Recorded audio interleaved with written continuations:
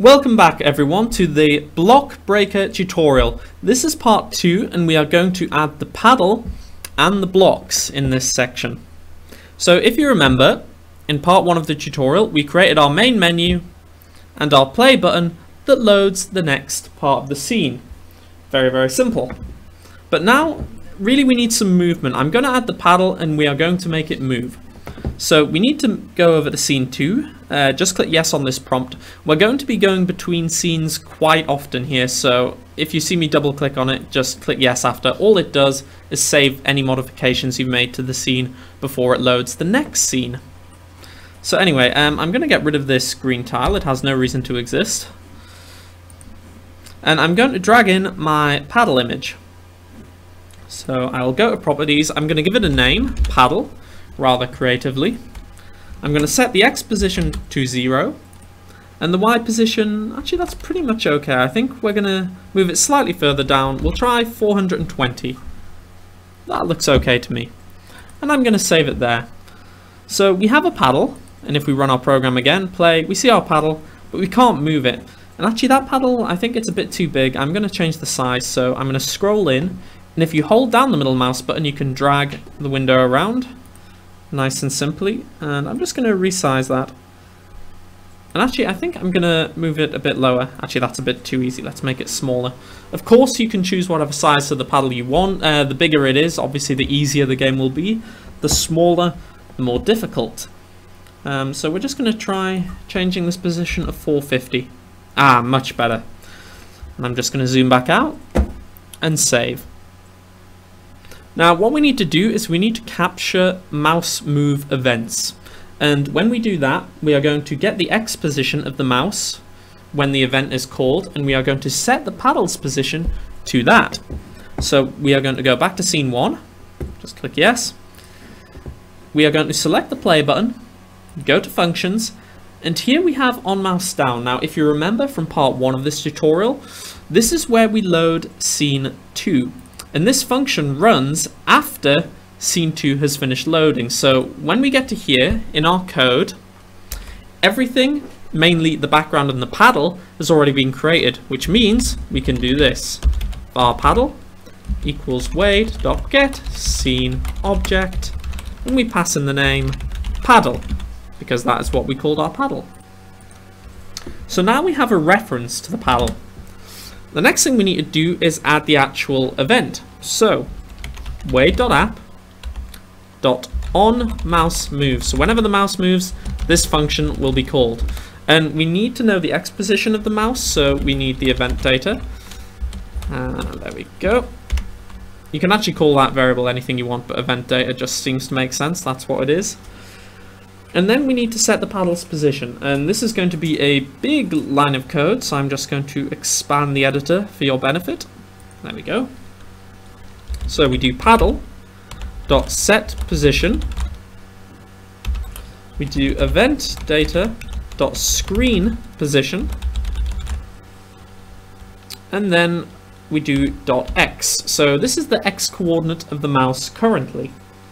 Now, we do not want to change the y coordinate of the paddle, so we are just going to do paddle.get position dot y. And I think we're going to save that and run it and see how it works. So we click play. We move the mouse and, as expected, the paddle moves quite nicely. So we can now move our paddle to impact the ball. Now the ball we are not going to add until part 3, but we are going to add the blocks now. So I'm just going to leave that. And I'm going to go back to scene 2. Save the current scene before loading a new one. Yes, we always want to do this. So we need to make a grid of blocks. Now obviously I could just do this. I could just drag a block and drag another block. But that causes a problem of all the code for this these blocks would have to be duplicated and it really wouldn't be very nice. So that's not what we're going to do. Instead, we're just going to take a single block and we are going to make it a template. Now in Wade, a template object is not part of your scene, but we can use it, we can clone it, and it just makes things a lot easier for us. So I'm going to go to properties and I will just call this template block. I should say you don't actually have to call it template, it's just I need to know which block is the template one, so I'm giving it a rather unique name. And next thing, we need to select this template flag, and I'm going to add one custom property, which is is block, and I'm going to set that to true. It's just going to be a flag that will help us do our collision checking a little later on. So I'm going to save, and I'm going to run the program. If I click play, you'll notice the red block doesn't appear. That's because it's a template. We just want to clone it later.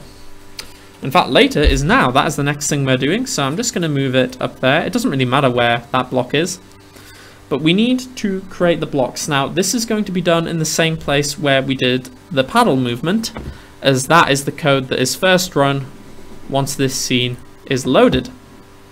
So we go back to scene 1, click on the play button, uh, go to functions, and here we are, we're back here. So I'm going to start commenting these things, um, paddle movement, and then we want create blocks. Hmm.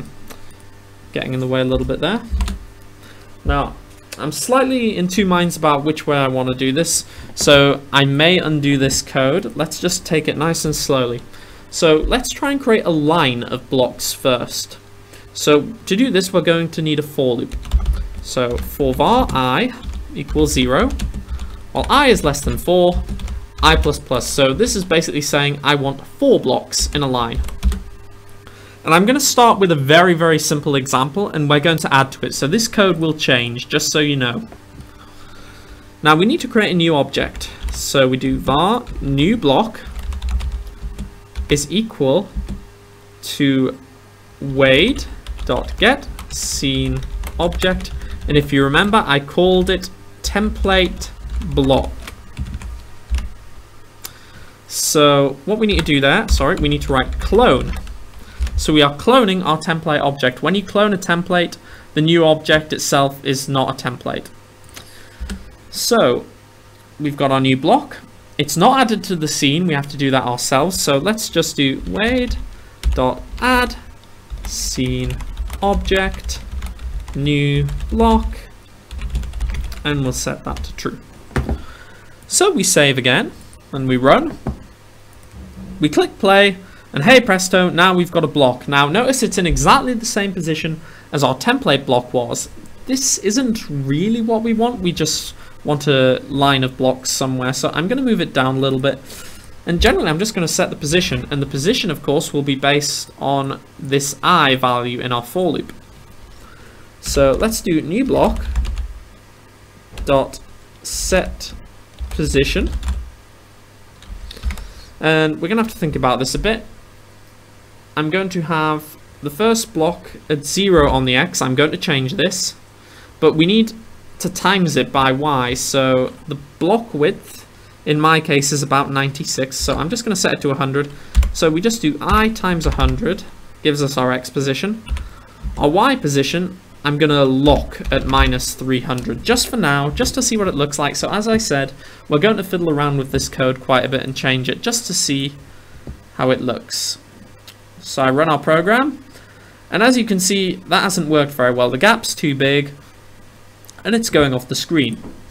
So what I'm now going to do is i minus 2. Now the reason I do this is we are making four blocks.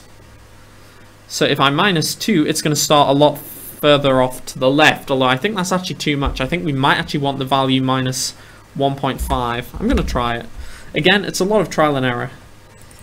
And I'm going to change this width to 90. So we save, we run, and we see what it looks like. That's a lot more acceptable. I think that looks good. And now I want four rows of this instead of just one. But you can have as many as you want. I might have more than four. I might make it six deep. But anyway, we can create a row. The next thing we need to do is create multiple rows. So we put another for loop inside our outer for loop. We use j this time. While j is less than however many rows we want. Um, I think I'm going to go with j equals... Well, j is less than 4. j plus plus. We're just going to try and keep it nice and simple for now. And we put this code inside this for loop. So now we will get 16 blocks, but we need to be careful on the positioning. And I just need to do this. A quick tip, if you use Shift and Tab, it will remove tabs in blocks like that. It's very nice.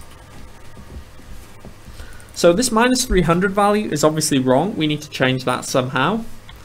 And I think what we are going to do is add j times by, hmm, let's see what value might work, 50 maybe? Let's have a go. Save the project and run. We click play.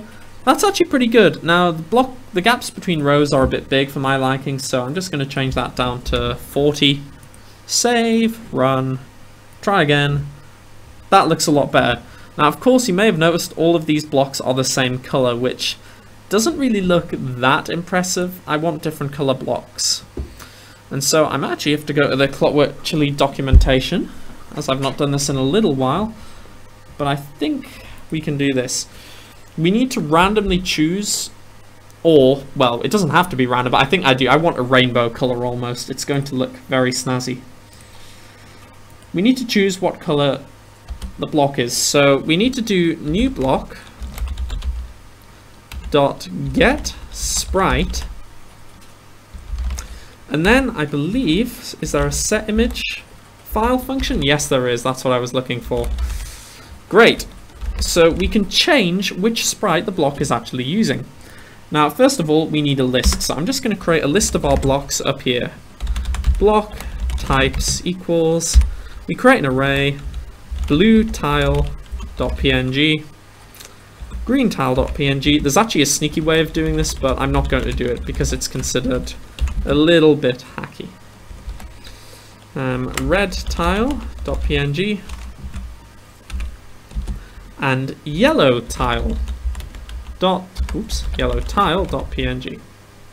There we go, that looks correct. Check for any spelling mistakes. I can't see any straight off, but there may be some there. So with every block we create, we want to randomly select one of these types. Now doing that is actually fairly simple. We just do var index. In fact, we don't even need to do that. We can do this all in one line. We will do var type equals lock types, and then we need to get a value between 0 and 3. Anything else won't work, so we have to be careful with this. So we do math dot floor brackets math dot random and that's a function and we times it by 4 this should give us a value between 0 and 3 I do believe. I'm just checking. Yeah that looks right to me. So this is going to randomly choose either blue tile green tile red tile or yellow tile and set it to the block. So we save our program and we run we click play and none of the blocks are drawing. So obviously we've got a slight error here. So we need to check. And what has clearly gone wrong is I'm calling set image file, but I'm not actually passing the type we just worked out into it. So I'll do that. That doesn't necessarily mean it will work, but that was a bug. So I fixed that. We click run, click play, and wow, we have a nice array of multicolored blocks. Now, of course, you can make this as big as you want. There I've got the number four. Try the number eight. Click save, run, play. Ooh, getting even more colorful. I think I actually want six. Just go ahead, change that. And a lot of this, this is what I find fun about making games. You just get to tinker with things until it looks how you want. So in your example, you may use way smaller blocks. You could have eight in a line. You can have anything you want. You could have 50,000 colors if you really wanted. Basically, just make it fun. So we now have a moving paddle and we have some blocks. Now, of course, these are all getting cloned from our template blocks. So every single one of these blocks, aside from the color, which we are overwriting, will have the same properties as our template block. So later, when we need to add collision, other things to this block, we just change this one. All of the cloned blocks will get that data. So, just a final recap, if we save and run, we have a nice main menu has a title, instructions, and a play button. In play, we have our very colourful grid, which you'll notice is different each time due to the random function. Then we have a paddle we can move with the mouse. Now in part 3 we're going to add the ball which really finishes this tutorial. It's probably going to be the longest part because the collisions are a little bit tricky and it might take us a little bit of fiddling to get everything to work right. But I hope you come back and I hope you enjoy the final part. Thanks for watching guys.